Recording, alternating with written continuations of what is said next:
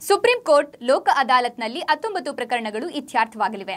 Supreme ಕೋರ್ಟ್ನಲ್ಲಿ ಚಿತ್ರದುರ್ಗಕ್ಕೆ ಸಂಬಂಧಿಸಿ ಹತ್ತೊಂಬತ್ತು ಪ್ರಕರಣಗಳು ಇದ್ದು, ಅವುಗಳನ್ನು ರಾಷ್ಟ್ರೀಯ ಲೋಕ ಅದಾಲತ್ನಲ್ಲಿ ತೆಗೆದುಕೊಳ್ಳಲಾಗುತ್ತದೆ ಎಂದು ಚಿತ್ರದುರ್ಗ ಜಿಲ್ಲಾ ಸತ್ರ ಮತ್ತು ಪ್ರಧಾನ ನ್ಯಾಯಾಲಯದ ನ್ಯಾಯಾಧೀಶರಾದ ರೋಣಾ ವಾಸುದೇವ್ ಹೇಳಿದರು. ಅವರು ಚಿತ್ರದುರ್ಗದಲ್ಲಿ ಪತ್ರಿಕಾಗೋಷ್ಠಿಯಲ್ಲಿ ಮಾತನಾಡಿದರು.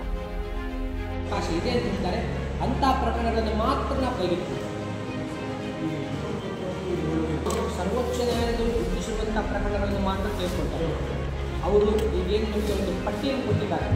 ನಿಮ್ಮ ಜಿಲ್ಲೆಯ ವ್ಯಾಪ್ತಿಯಲ್ಲಿ ಹತ್ತೊಂಬತ್ತು ಪ್ರಕರಣಗಳು ಅಂತ ಹೇಳಿದ್ದಾರೆ ಅವರು ಸುಪ್ರೀಂ ಕೋರ್ಟ್ನಲ್ಲಿ ವಿಚಾರಣೆಗೆ ಬಾಕಿ ಇರುವಂಥ ಪ್ರಕರಣಗಳು. ಆ ಹತ್ತೊಂಬತ್ತು ಪ್ರಕರಣಗಳನ್ನು ಮಾತ್ರ ನಾವೇನು ಮಾಡ್ತೀವಿ? ಆ ಅವಧಿಯಲ್ಲಿ ತೆಗೆದುಕೊಂಡು ಆ ಹತ್ತೊಂಬತ್ತು ಪ್ರಕರಣಗಳಿಗೆ ಸಾಧ್ಯವಾದಷ್ಟು ಮಟ್ಟಿಗೆ ಒಂದು ಪರಿಹಾರವನ್ನು ಜಿಲ್ಲಾ ಮಟ್ಟದಲ್ಲಿ ಅಥವಾ ಜುಲೈ ಇಪ್ಪತ್ತೊಂಬತ್ತರಿಂದ ಆಗಸ್ಟ್ ಮೂರರವರೆಗೆ ನಡೆಯಲಿರುವ ಲೋಕ ಅದಾಲತ್ನಲ್ಲಿ ತೀರ್ಮಾನ ಮಾಡಲಾಗುತ್ತದೆ ಎಂದರು.